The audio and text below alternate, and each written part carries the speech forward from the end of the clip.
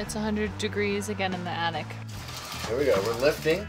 You gotta keep going. what happened? A fly flew into my eye. I'm pretty sure it's over here in the corner.